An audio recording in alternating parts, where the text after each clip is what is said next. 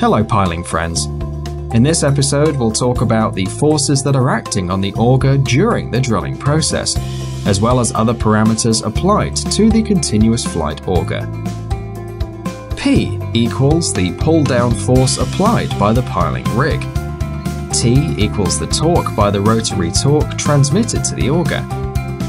S is soil resistance. G equals the weight of the auger.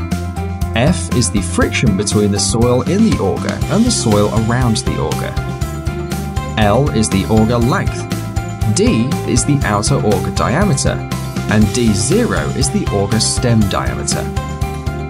Thank you very much for watching our CFA series, guys.